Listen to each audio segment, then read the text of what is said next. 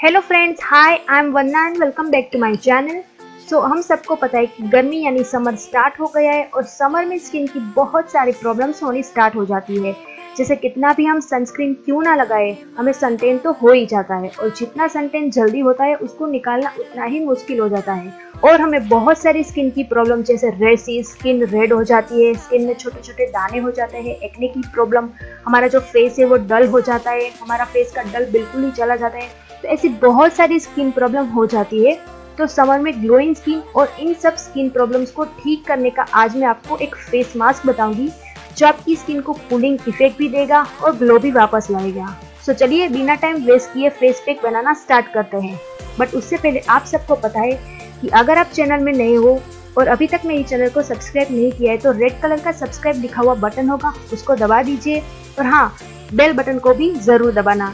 नहीं तो उसको बुरा लगेगा। आई वॉज़ जस्ट जोकिंग उसे क्लिक करने से आपको मेरे नए वीडियोस की अपडेट सबसे पहले मिलेगी और आप मेरा वीडियो सबसे पहले देख पाएँगे। और हाँ आप मुझे इंस्टाग्राम में भी फॉलो कर सकते हैं। नीचे आपको सारी लिंक मिल जाएगी। So now let start the video तो गर्मी में हमें सबसे ज़्यादा ठंडक चाहिए होती है।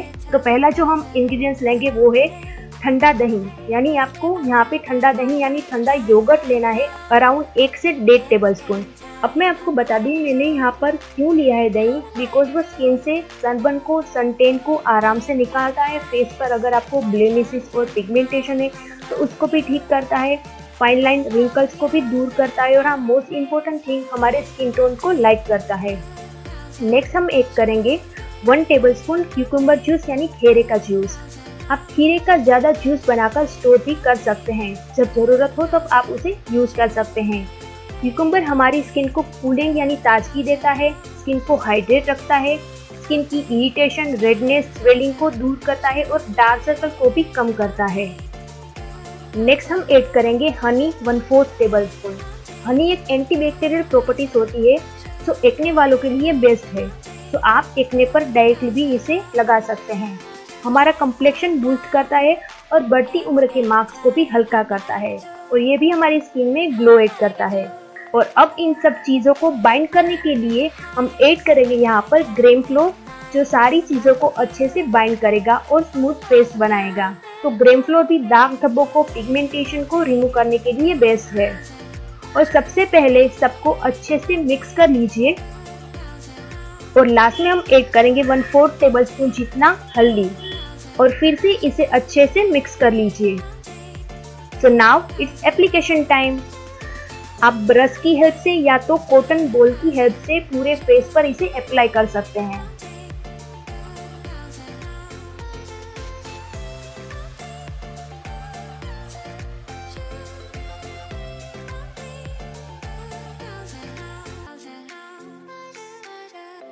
अप्लाई करने के बाद 15 मिनट के लिए आपको ऐसे ही रहने देना है। देन आपको उसे ठंडे पानी से वॉश कर लेना है।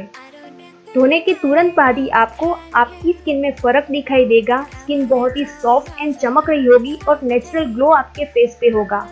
यहाँ पर मैंने फेस पर कुछ नहीं लगाया है सिवाय लिपस्टिक के और आप देख सकते हो वॉश करने के बाद मेरा फेस एक नेचुरल ग्लो है और ये face mask all skin type वालों के लिए सूटेबल है। और बहुत मेन एंड वुमन इसे लगा सकते हैं। आप वीक में इसे तीन बार लगा सकते हो। इसमें कोई ऐसे इंग्रेडिएंट्स मैंने ऐड नहीं किए जो हमारी स्किन को नुकसान दे। सो आप इसे ज़रूर लगा सकते हो और इसे लगाने के बाद आपको इंस्टेंट आपके फेस में फ़र्क नज़र दिखाई देगा। तो इसे घर पर ज़रूर ट्राई करें और गर्मी के सीज़न में स्किन की बहुत सारी प्रॉब्लम को सोल्व करेगा। अगर आपको फेस पर जलन हो रही है या तो कोई इरिटेशन है तो उसको भी ये सोल्व करेगा। इसके बाद मैं अप्लाई करूँगी फेस पर हिमालय बेबी क्रीम फेस को मॉइस्चराइज रखने के लिए। लास्ट कई दिनों से मुझे बहुत सारी ऐसी कमेंट्स आ रही थी कि प्लीज़ मैम मेरी स्किन सेंसिटिव है, मुझे कुछ सूट नहीं करता। कोई अच्छी सी क्रीम बताए। तो मेरी भी स्किन बहुत सेंसिटिव है। तो मैं हिमालय बेबी क्रीम ट्राई करती हूँ। आप कोई भी बेबी क्रीम ट्राई कर सकते हो डव की या तो जॉनसन की भी बेबी क्रीम आप ट्राई कर सकते हो।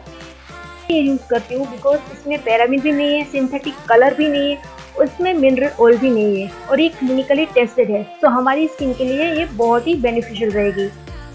बस ये था मेरे आज का छोटा सा वीडियो आई होप कि आपको पसंद आया होगा। तो इस गर्मी के सीज़न में आप ये फेस पैक ज़रूर ट्राई कीजिए और मुझे नीचे कमेंट बॉक्स में आपका रिव्यू ज़रूर लिखिए। तो अगर आपको कोई क्वेश्चन या क्वेरी हो तो आप मुझे नीचे कमेंट्स भी कर सकते हो। तो इसे लाइक और शेयर करना बिल्कुल ना भूलना। और आप मेरे अदर वीडियोस को देखने के लिए यहाँ पर क्लिक भी कर सकते हो। तो मिलती हूँ आपको मेरे नेक्स्ट वीडियो में। तब तक के लिए बाय बाय